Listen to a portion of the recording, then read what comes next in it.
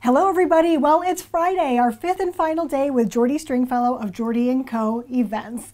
Jordi, this has been an amazing week. You've been such a, a tremendous inspiration Aw. for our holiday celebrations. Great fun for me. Thanks for having me. Sure. So today we're going to do New Year's Eve for two. For two. And I know that you are, you, you specialize in, in large as well as, as smaller scale events, but but how often do you do you do an event for two people? Surprisingly, uh, every once in a while. Okay. I get that I have the good fortune of doing it, and it's very, very special. I just want to, since my last day to address your audience, Yeah. encourage everybody entertain at home. Open up your homes.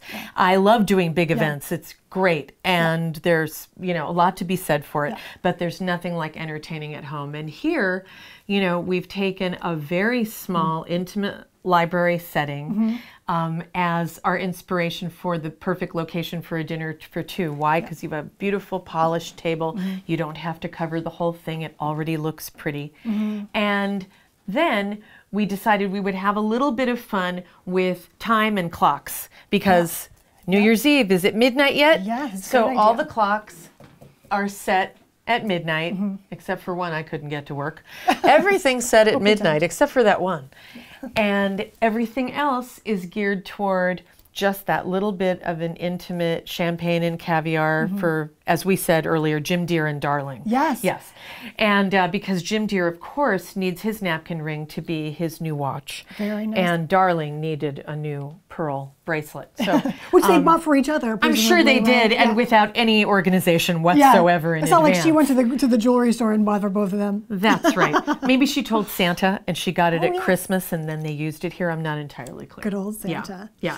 But we combined very inexpensive elements of New Year's Eve, the Yeah. Mm-hmm. standard horns and noisemakers, with again supermarket roses. If you know how to present them, Mm-hmm. it can all be beautiful. Some really pretty little pieces that we're imagining will hold our little condiments for caviar, Yeah. and a silver box there with a napkin in it for your toast points.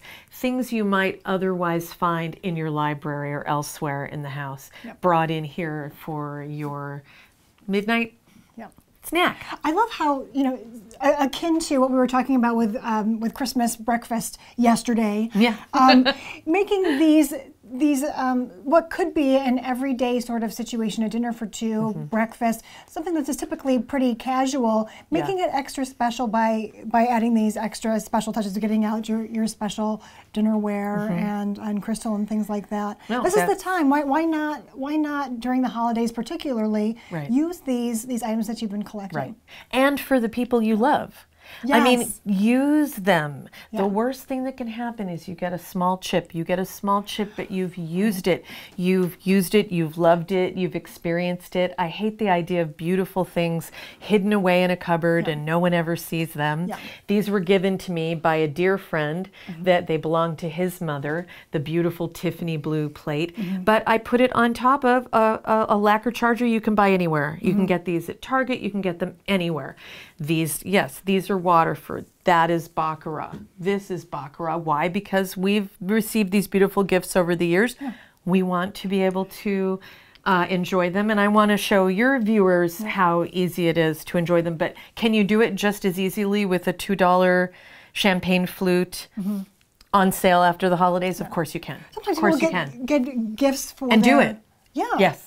For their weddings or on their registries, and, and then they, they go up on a shelf and they never get used. Exactly. exactly I like your point Exactly. about don't worry about getting a chip in something because if you have little kids or something, and you, you might tend to not want to bring out the china, but that's when you're going to make the memories. Is when you're using. So it's, to music, use it. music, music to my ears. Because if the children, I think if they're brought up using nice things, Yeah. they'll have more of an opportunity to think about it when they're growing up and how to do it.